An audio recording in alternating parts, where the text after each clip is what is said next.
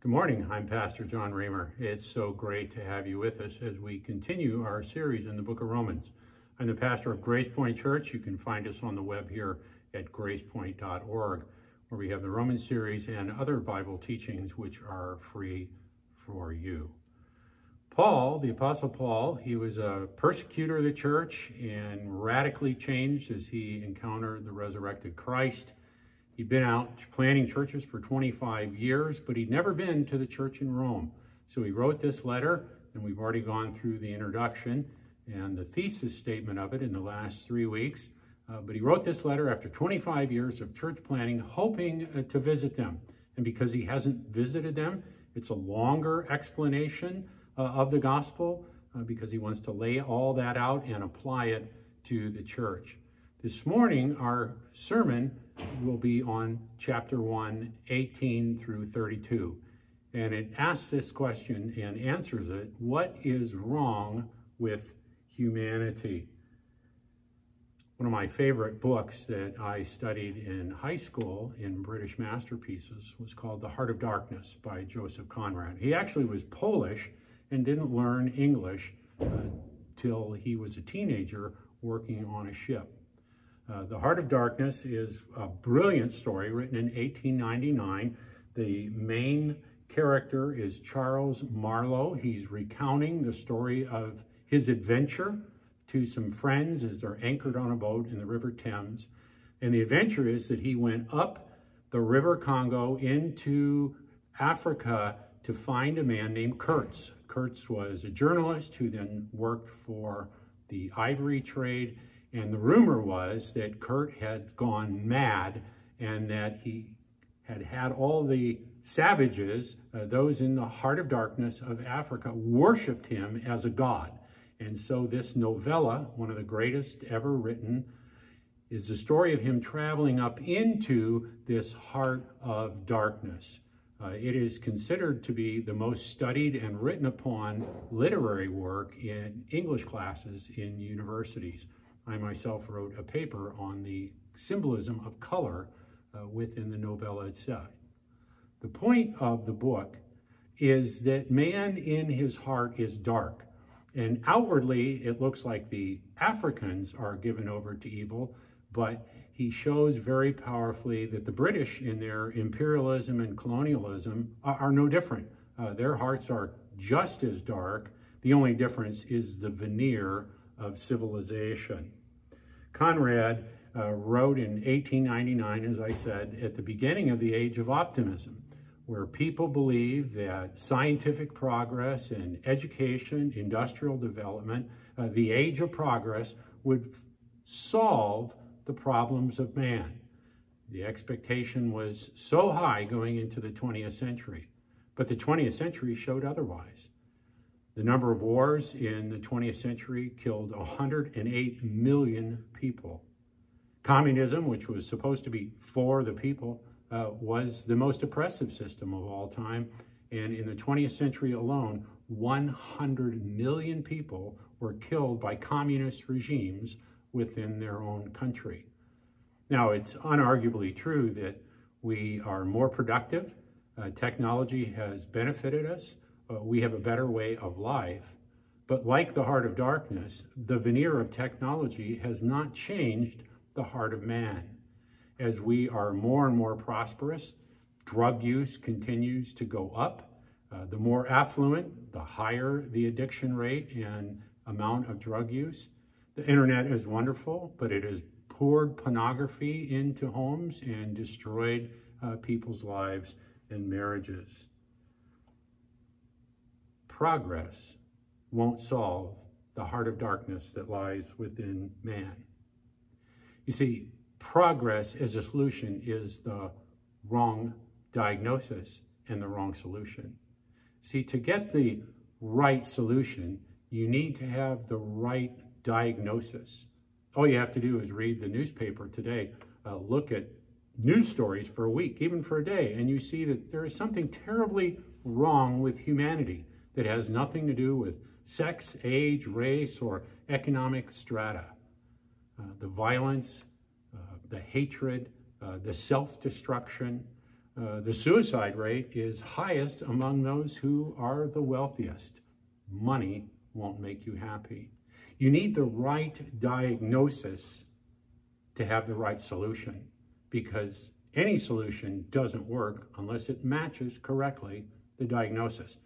Let me be very personal here. Uh, I have a condition called rheumatoid arthritis, which really isn't arthritis. It's from the original definitions years ago when they didn't understand it well.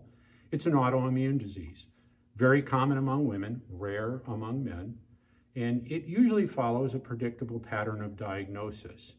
In my case, being a man and later in life, when it struck me, uh, my factors for diagnosis were very odd. Uh, what happened to me is one day I got out of bed to take a walk, and when I stepped out of bed and my foot landed on the floor, it felt like my right foot literally broke. I thought a bone had fractured, or maybe I'd had a piece of glass uh, on the floor, but of course it was my bedroom. That was ridiculous. So I went in uh, to see doctors, went to an orthopedic. Uh, they x-rayed it and said, you know, we can't see a fracture, but clearly this is a stress fracture. Now, I never heard of a broken bone that didn't show up on an x-ray, but what do I know? So I followed the doctor's advice and put on a Dutch shoe, and that was supposed to keep the foot stable and in six weeks be healed. But after six weeks, the pain got worse. In fact, it was so bad that I could hardly walk. Uh, I took the Dutch shoe off, could only walk in a slipper, went back, saw another doctor. Another doctor said, well, it has to be a fracture. And I said, why doesn't it show up on the x-ray? He goes, I don't know. I left discouraged. A few weeks after that, I woke up one morning still with great deal of pain in my right foot and my left elbow was frozen, literally frozen. I could not move my arm. I was in extreme pain and couldn't move. So now my right foot hurt. Uh, it had become swollen and my left elbow wouldn't work. It was around Christmas time. I got through Christmas with the kids and then went into the emergency ward. I got a young doctor there who sort of looked like Doogie Howser. I thought, oh, I got a kid out of medical school. And he said, Mr. Raymer, I'm not going to let you go till I figure out what's wrong. They can only keep you in the emergency ward for 23 hours and 30, 30 minutes, just short of 24 before they have to admit you. He ran every test he could think. I was poked, prodded, x-rayed, scanned. Uh, they looked for things in my brain. Uh, a psychiatrist came in wondering if it was psychosomatic and he ran a bunch of blood tests and he came in after I'd been there almost 24 hours. I was thoroughly exhausted, in pain and discouraged. And he said, Mr. Raymer, I have ruled out everything I can think of except one thing, a disease called rheumatoid arthritis. And I had barely heard of it. I'd seen little old ladies with crippled fingers. And I was scared, frankly. I went home and researched it and I was terrified. The statistics for men are not good. Untreated rheumatoid arthritis takes 15 years off the life of a man. And I read that many men who have rheumatoid arthritis commit suicide because it is an incurable, progressive disease, uh, often with very severe pain, destroying joints in the body, attacking internal organs. Uh, many men die of heart attacks because it hardens the pericardial sac and you literally squeezes your heart to death. I was crying out to God and, and praying. And of course, all the well-meaning people came out of the woodwork. Uh, try this juice, try this natural, that, uh, do this, do that. Everyone had their little one-off cure, usually some way to make money on it. And I went to a rheumatologist, and the first one wasn't very good. And I was in such bad shape, I had to take off a leave of absence from work. I was in such pain, I couldn't even walk. Then I got to another rheumatologist, better diagnosis, better treatment, and it took several years. And I take some very strong medicines uh, that help me. Some well-meaning friends were like, don't take the medicines, it has side effects. Well, the main effects are far worse for not having it. And I just thank God that uh, that was about 10 years ago. And three years ago, I was able to run five half marathons. And two years ago, I was able to trek 112 miles in the Alps by myself carrying my pack. Now, I still suffer from some of the effects of it, and I take strong medicines. But see, it took the right diagnosis to get the right treatment so that I could move on and enjoy my life. And if you don't have the right solution about diagnosis about what is wrong with humanity, you're never going to have the right answer. And the Apostle Paul, this is a tough passage, I'll warn you, from 18 through 32, but a necessary one. Uh, like when you go to the doctor, uh, let's take my case out of the way. Uh, let's say you're worried you have cancer, and in fact, you have incurable cancer or seemingly incurable cancer. You don't want to go to the doctor and have her say, well, you know what? Let me just give you a big hug and take some vitamin C and go home. You'd be furious with that. Some of us want God to be like that, to just give us a big hug and wish us well and let us go on our merry way. But see, God cares about us enough to tell us the truth. And so he tells us the truth about what humanity is really like. It's a tough story, like hearing a tough diagnosis. The day I heard I had rheumatoid arthritis, it broke my heart, frankly, because there was no guarantee the medicines would work. But if I didn't have that truthful diagnosis, I couldn't be where I am today. And so this section of Romans, we're starting today, and for the next several weeks, it's pretty tough but it's the necessary diagnosis to take us to the healing grace of God. So the diagnosis that Paul uh, tells us here is that we have chosen to suppress the truth to God, our Creator's existence, because of our preference for unrighteousness. We suppress the truth of God because of our preference for unrighteousness, and then that turns into uh, different behaviors. And because we do that, God is justifiably angry. That's kind of a summary of the passage that we're going to look at this morning. If you look back at verse 17 from last week, it says God has revealed a righteousness of God, God's character, God's saving action, and how he makes us righteous. And now we're going to see, verse 18, that the wrath of God is revealed. So righteousness revealed, wrath revealed. God is doing both. So let's read starting in verse 18. For the wrath of God is revealed from heaven against all ungodliness and unrighteousness of men, who by their unrighteousness suppress the truth. For what is plain, what is known about God is plain to them because God has shown it to them.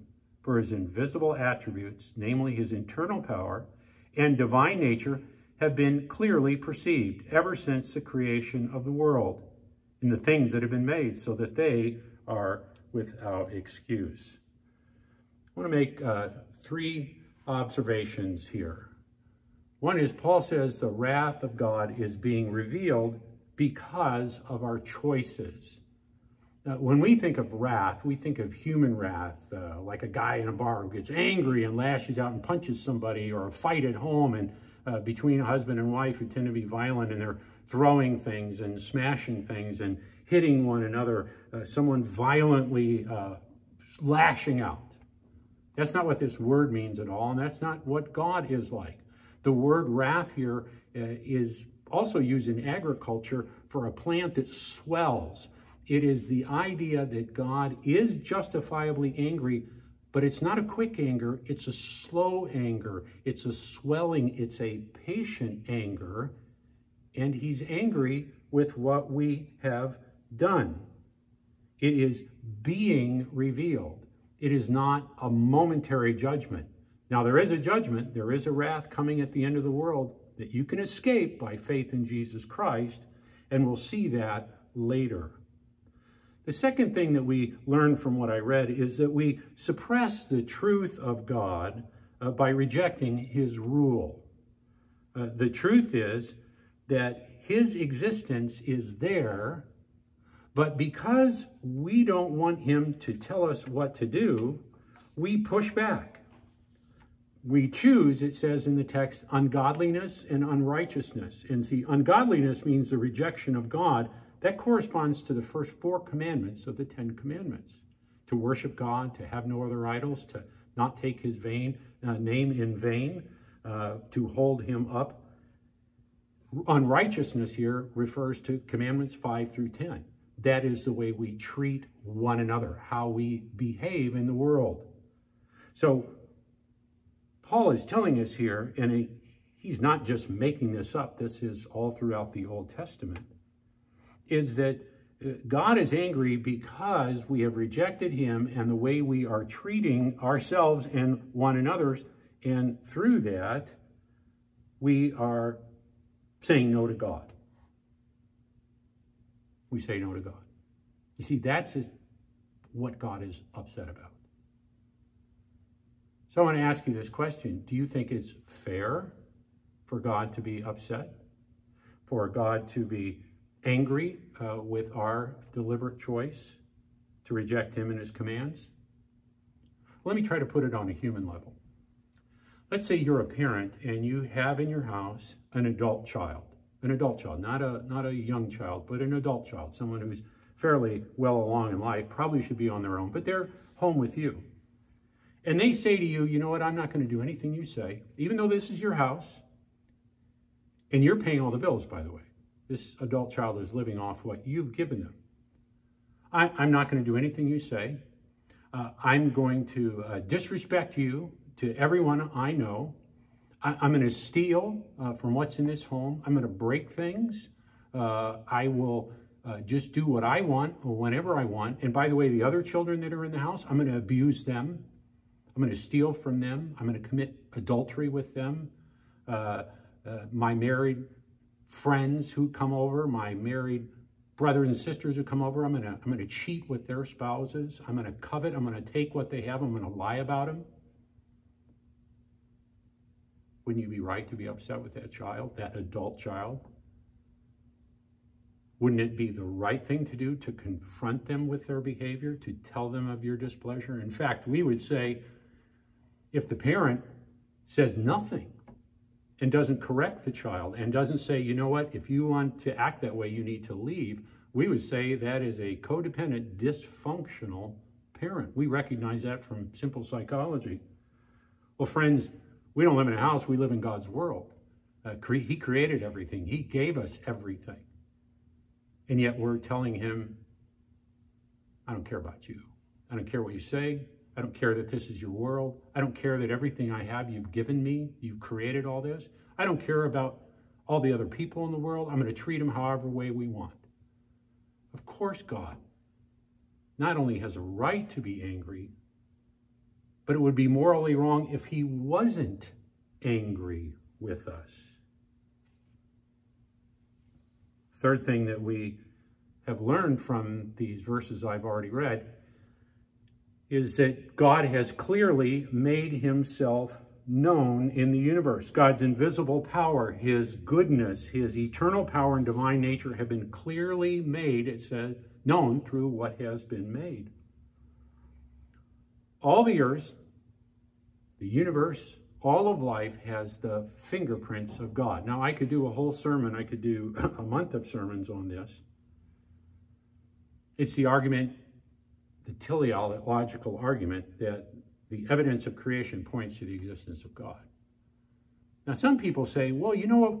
That was Middle Ages. That's old stuff. Well, we're way beyond that. We know that science has proven that God doesn't exist. Well, my friends, let me assure you, uh, science has not proven that God doesn't exist. It's impossible to prove a negative.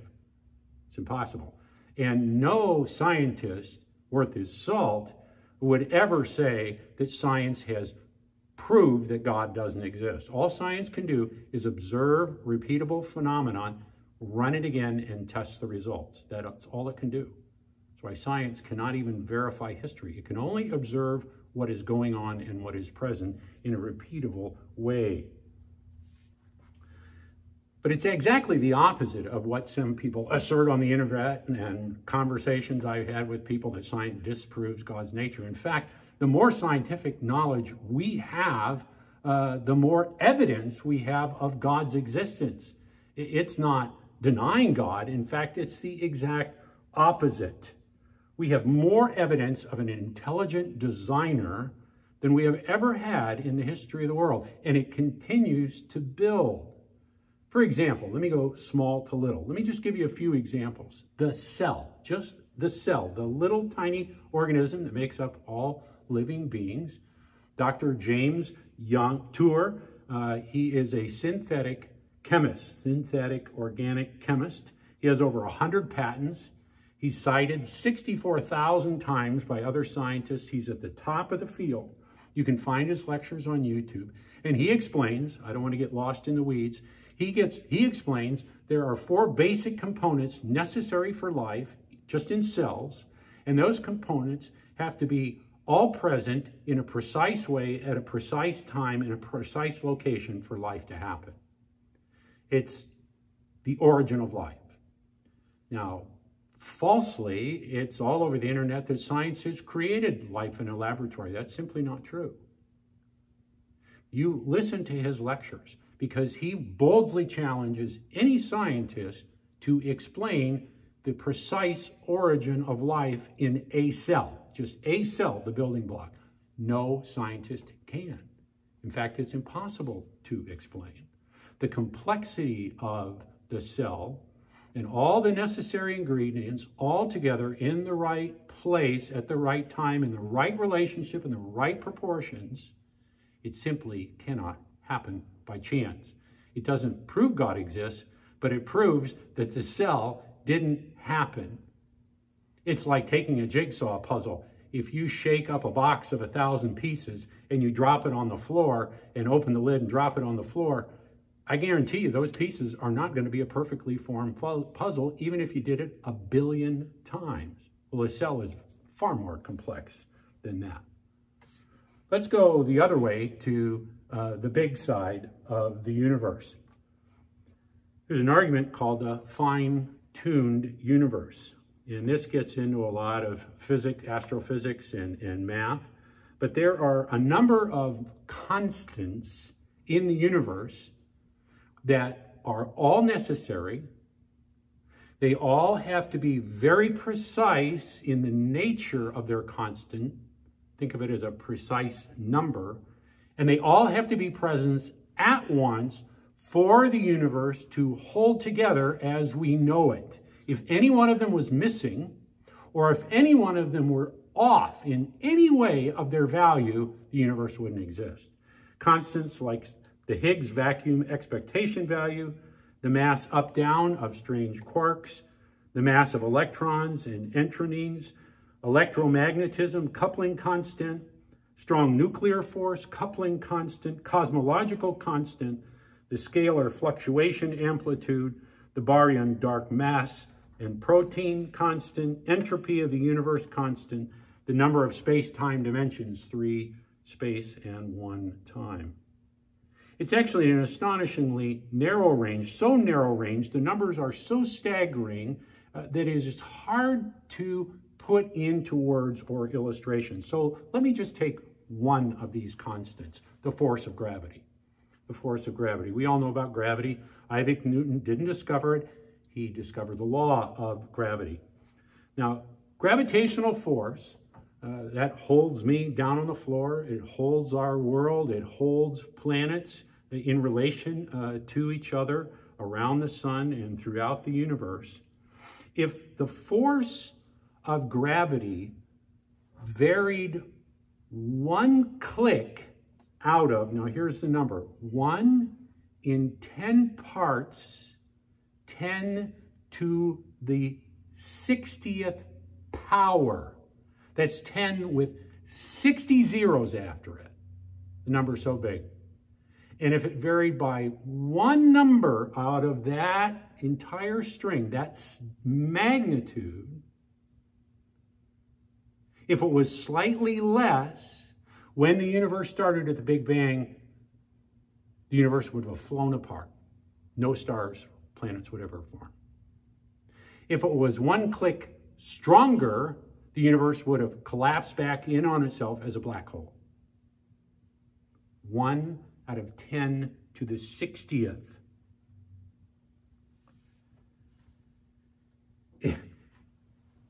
Here's another way to think of that. Think of a target with a one inch bullseye and you've got a 22 caliber rifle. And you take your rifle and I ask you, can you hit the bullseye? And you say, yeah, John, I'm a good shot. I'm going to shoot that bullseye. I'm going to hit it right in the center. And you do at 10 yards. And I'll tell you, here's the accuracy by analogy of the preciseness of gravitational force. I'm going to take that target and back up. In fact, I'm going to go all the way to the furthest end of the known universe. And in one shot, you have to hit that bullseye. Crazy. So either the universe uh, existed uh, out of uh, physical necessity, that's one argument, but that's not really an argument. That's just stating the obvious that things relate to one another. The question is, why do they relate so precisely to another? So the other argument is, well, the universe existed by chance. The numbers are so beyond the scale. You take all the constants and multiply them times each other, it's simply impossible. So what many physicists do who won't believe in God, they do this. They move from physics to metaphysics. They say, well, we are one of many universes. It's called the multiverse theory. That there is a universe generator that generates multiverses, and none of them stick except the one that we have. Now, think about that. See, the Bible says there's one universe, one God who created it, and there's evidence in creation. The multiverse theory is, well, there were many, many, many, many universes. Of course, you can't see them. There's no evidence of them. You can't prove it. There's no science. We're not in science now. See, the physicists aren't in science. They're in metaphysics. This is sheer projection, sheer speculation. Well, where do they come from? Well, they come from this universe generator. So you're telling me it's illogical to believe that one God created one universe but that there were multiverses that no one's ever seen or can prove, and they were generated by this giant universe generating machine. Boy, that sounds like God to me. Where's the evidence of that? Let me try to give you by analogy. I put a five meal course in front of you and I say, I'm the cook. And you say, you know what, I don't believe in cooks. In fact, I believe that there are a hundred different five course meals and a hundred different cooks. I've never seen them, and I can't prove they're there. But because I don't like you as the cook, I'm going to, in my mind, create all these other meals and these other chefs. See, the Bible says it's not lack of information, it is lack of willingness. King David says, The heavens declare the glory of God, the skies proclaim the work of his hands. Day after day, they pour forth speech. Night after night, they reveal knowledge. You see, it's not lack of information, it's lack of willingness to believe because at bottom, we don't want to submit to God. That's humanity's problem. We don't like to be told what to do. This really became so clear to me uh, many years ago before I was married. I lived in Michigan. I was doing quite well in business. I had my own house, and uh, God had blessed me. And so I rented rooms to grad students just as a way of helping them for next to nothing because I'd been blessed with much. I enjoy people, and I wanted to bless them. So I had some pretty sharp grad students because I was at Michigan, not Ohio State. There were a lot of sharp guys there and one was a doctor, another was in a different field, and then I had a third guy who was a mathematician in pure math. And you want to talk about eggheads beyond eggheads.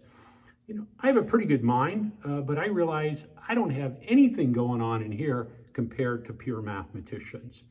His doctoral thesis was an equation of symbols 28 pages long. Well, he liked to eat what grad student does and doesn't, and I had money and food and I liked to cook. So I had him invite other grad students, math grad students, come over.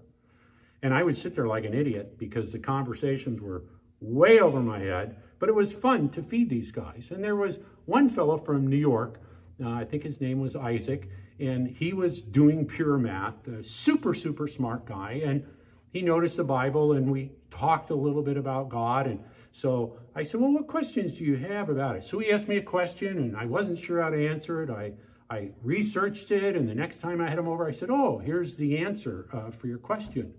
He goes, well, I got another one. And so this went on for months. Uh, he would come over for dinner with the other mathematicians, and he would ask me questions uh, about the Bible or Jesus, and uh, I would find a reasonable answer to it. And after a while, I realized this, this just doesn't feel like it's ever going to end. And I said to him one day, I said, you know, I've, I've answered pretty reasonably uh, all your questions. I said, let me, let me run this string out here. If I answer all your questions, would you then become a Christian? And you know what he said? He said, never, because nobody's going to tell me what to do. You see, and that's exactly what Paul says here. It's not lack of information, it's lack of willingness.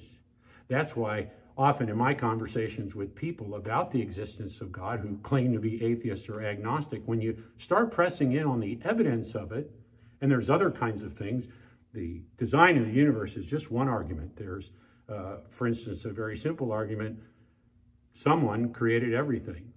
The atheist says no one and nothing created everything. It's absurd, isn't it? Well, it's lack of willingness because we don't like to be told what to do. You see, Paul goes on to tell us, verse 21 For although we knew God, they did not honor him as God or give thanks to him, but they became futile in their thinking, and their foolish hearts were darkened. Claiming to be wise, they became fools and exchanged the glory of the immortal God for images resembling mortal man and birds and animals and reptiles. What he's saying here is that unworship, unworship makes humans mentally futile and morally foolish. You see, we know God exists but we refuse to worship him. See, that's the first step is knowing God exists and then denying him. Uh, we not only don't worship him, it then has an effect on our mind and our morality. Our, thinking gets distorted. Our, our morality uh, becomes foolish.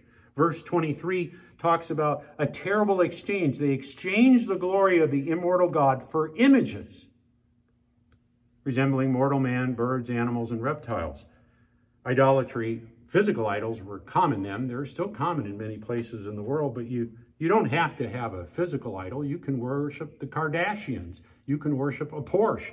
Uh, you can worship your job. You can worship your own body. But the point is, there is an exchange that goes on when your mind becomes futile and your morality becomes dark because you've rejected God because you don't want to be told what to do we can't deny that we're worshipers. We don't become non worshipers. Everyone worships. It's only a matter of what you worship, who you worship, and how you worship. When we deny God in worship, our thinking breaks bad on us and we self destruct into the horrible spiral that often happens in individuals, families, in countries, in societies.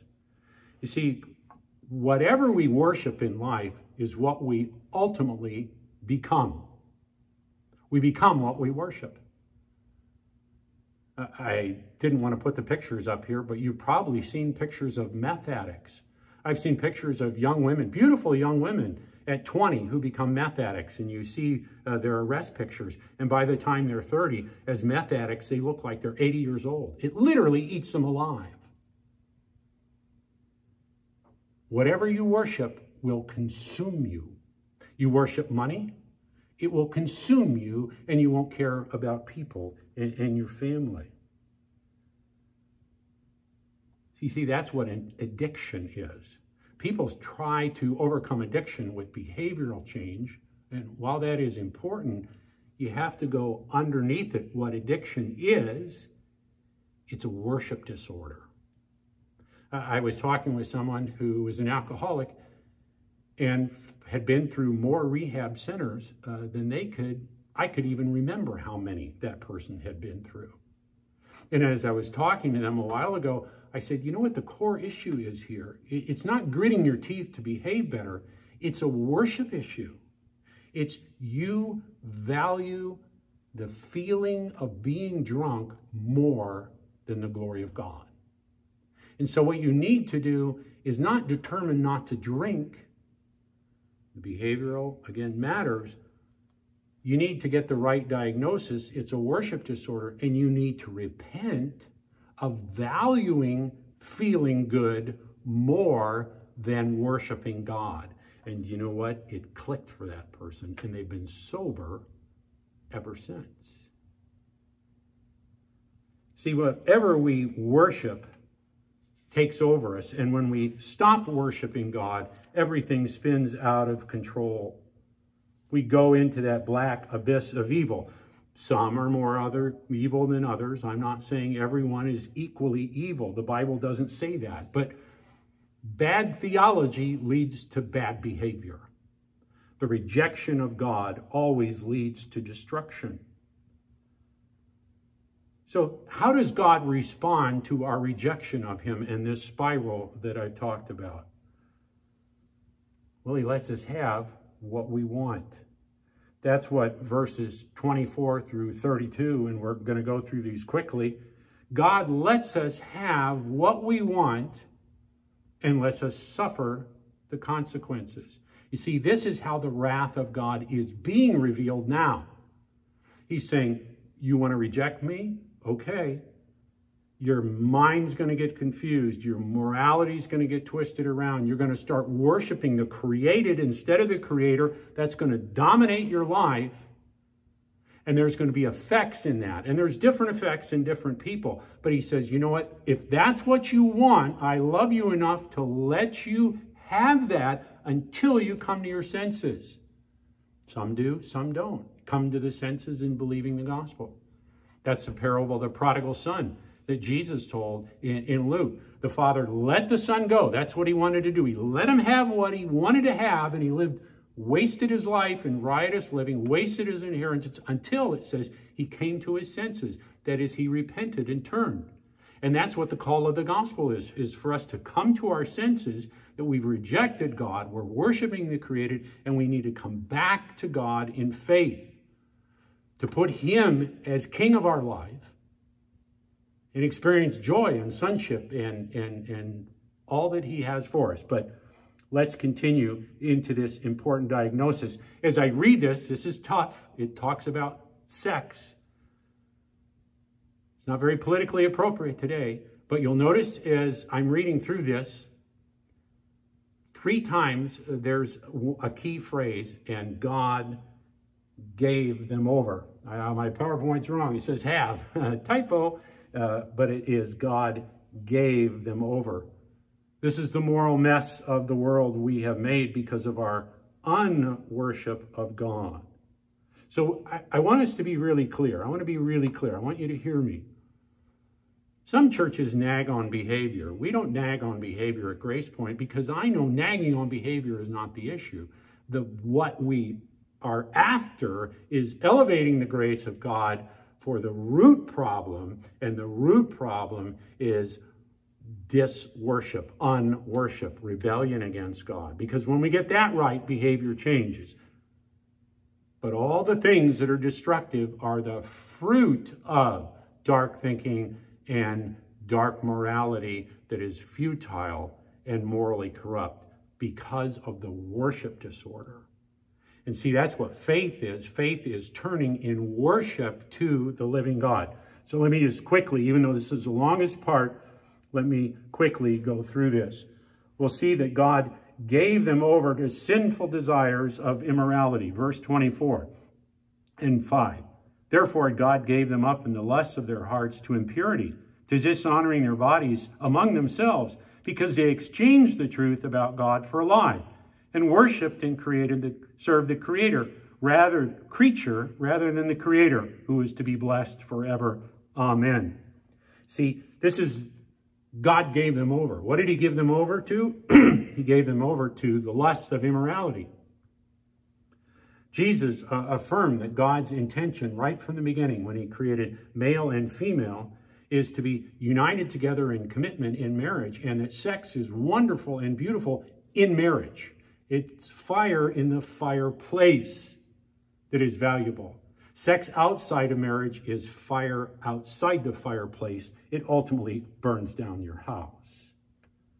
any form, the Bible is very clear, any form of sexual activity outside of the covenant of marriage between a man and a woman is immorality. Jesus affirmed that, Matthew 19. He said, Haven't you not read that he who created them from the beginning made male and female, and said, Therefore a man shall leave his father and his mother and hold fast to his wife, and the two shall become one flesh. So they are no longer two, but one flesh.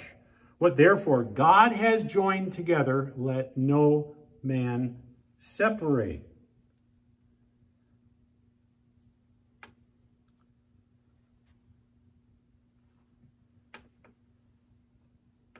We cannot separate marriage from sex and honor God. Then God gave them over to dishonorable passions of same sex activity. Verse 26 and 27. For this reason, God gave them up to dishonorable passions, for their women exchanged natural relations for those that are contrary to nature. The men likewise gave up natural relations with women and were consumed with passion for one another.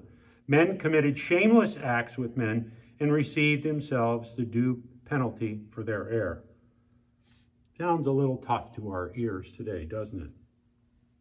See, God created humanity as a reflection of Him. God is three persons, one nature. One nature, God, three persons Father, Son, and Spirit. And the male female love relationship is a reflection of the multiplicity of God in male female. And the unity, the Bible says, one flesh. We are one humanity, but we are complementary in nature. And sexuality is complementary for the procreation of children and enjoyment of one another. Complementary sexual experience within marriage is God's intended pattern. Now, some people today think that sex has changed or that uh, we're far more immoral than it used to be. Some people like to decry, oh, the good old days, they're so much better. Well, that's madness. Uh, let's think about where Paul wrote the letter. A little background will help you understand. Paul wrote the letter to Rome, the center of the Roman Empire. What was sexual activity like in Rome? Well, in Rome, prostitution was legal, widespread, everywhere, and public. Every well-to-do home had pornographic paintings on the wall. The homes were filled with clay images of sexual organs or people with abnormally large sexual organs, trinkets that would hang around the neck of uh, the sexual organs of a man or a woman. It was unbelievable. What was activity like? Well, women had sex with other women, but more behind closed doors. Men, was more allowed to be open. What did the typical Roman man uh, do? What would the Roman citizen uh, be like? What was considered unremarkable and normal for a married Roman man to have a mistress, to have sex with teenage boys and girls, and pederasty was commonly accepted as long as it wasn't a free Roman citizen child. If it was a slave, it was perfectly acceptable for men to have sex with very young boys. It was a moral cesspool.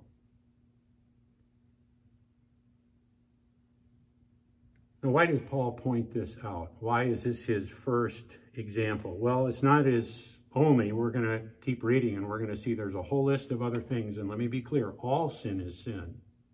All sin is sin. And unrighteous and not acceptable to God. But it's an example of verse 13 of the exchange of the natural for the unnatural. God's pattern is male and female.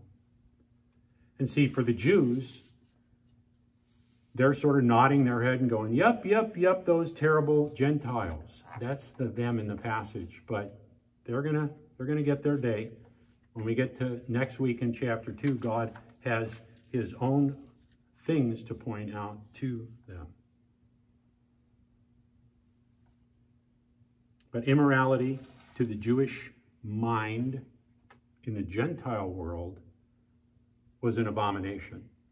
We have writings of first century Jews that decried the Gentile sin, especially of same-sex sex, and they were horrified that men would have sex with teenage children, teenage boys and girls, and very young boys. So it's the Jews who were hearing this letter read in Rome, they're going, yep, yep, those Gentile Romans. But that's not the only sin by any stretch of the imagination. See, it goes on to say God gave them over a third time, meaning all Gentiles, to a depraved mind to do what not ought to be done. They were filled with, this list is incredible, they were filled with all manner of unrighteousness, evil, covetousness, malice, full of envy, murder, strife, deceit, maliciousness, gossips, slanders, haters of God, insolent, haughty, boastful, inventors of evil, disobedient to parents, foolish, faithless, heartless, and ruthless. If you think Paul was only concerned about sexual sin or the Bible is only concerned about that, I hope you just heard the weight of that list. There's no behavior that was given a free pass. While some sins have a more immediate and grievous effect, certainly murder is worse than gossip. But in God's eyes, all sin is sin. All sin is unrighteousness. There's nothing not on this list. Inventors of evil, ruthless, heartless, covetousness, the 10th commandment. Uh, we call it marketing today, wanting what isn't yours. See, let's be very clear for the Gentiles and the Jews. And then the Jews have their own sins that are pointed out in chapter 2. The process is simple. You deny the knowledge of God. It debases your mind and your morality, and it produces fruits of evil. And you worship creation, whatever your choice is. That becomes your God. That controls you. That's what you're addicted to, and it produces a cycle of bitter fruit and moral chaos. Different people are tempted by different things. Temptation or desire to something is not sin, it's giving into that. Some struggle with same sex attraction, that's not sin. It's part of the brokenness of the world. Just as some struggle with stealing, some struggle with wanting to get high and alcohol addiction. Some struggle with their pride and they want to be elevated. Some struggle with greed. Uh, we all have different soft points in our character, different woundedness. But the point is for all of us, when we reject God, our mind and our heart gets twisted around and we elevate what should not be elevated. And what does God think? Well, God is allowing us to have those full consequences. And then verse 32 caps it all off, where he says, Although they knew God's decree that those who practice such things deserve to die, they not only do them, but give approval to those who practice them. It's not just that we do what's wrong, we nod our head and give the thumbs up to others. How many times have you heard of gangs of people watching brutal crimes being committed, cheering it on? It makes your stomach turn. Let's go back and remind ourselves in verse 20. For his invisible attributes, namely his eternal power and divine nature, have been clearly perceived ever since the creation of the world in the things that have been made, so they are without excuse. We're all without excuse. We know God exists. He's put that knowledge in us. He's put evidence around us. We know we've chosen to worship God. Not. We worship creation. we worship within creation anything but God. And it makes a mess of our life. So when we want to know what's wrong with the world, look in the mirror. We're what's wrong with the world. Now, there's a way out. The way out is the gospel of Jesus Christ, which I've explained before. And I know this teaching is a little longer, but it was a long passage and very important to get through carefully. As we continue in Romans, we're going to see how God makes us right with Jesus Christ. But it's as simple as this we turn from ourself as king. We say, God, you are my God. I put you back on the throne. I take myself off. Give me a new heart. Give me a new life through the Holy Spirit, through the blood of Jesus Christ, which forgives us for all our sins, no matter who you are, no matter what you've done. I led a murderer laying on a hospital table, dying of a heart attack, to faith in Jesus Christ, and he found forgiveness and peace. It doesn't matter who you are, what you've done, what you've struggled with, how long it's been there. God wants you as his child. Write to us here at our website in the contact form. I'd love to hear from you and tell you more about what it means to be a follower of Jesus. Let's pray. Father, we thank you for telling us the truth about who we are, that what is wrong with humanity is that we've given up knowledge of you, and instead of worshiping you, we worship creation. Father, help us to turn to you in faith and even if we already have, Lord, help those of us who are Christians to examine our life where perhaps we're elevating something we should not in place of you. If we have behaviors in our life that are wrong, help us, Lord, to repent to those and turn to you. And I pray for anyone listening that they would know, no matter who they are, what they've done, if they say, God, I've been wrong, I confess that, I believe that Jesus died for my sins, and I want to be your child and forgiven. I want to elevate you. I want to worship you and follow you. Please come into my life. Amen. If you do that, you have eternal life. Well, God bless you for sticking with it uh, through this. Forgive me on the typo and a couple mistakes. We'll see you next week as we continue in our study of Romans.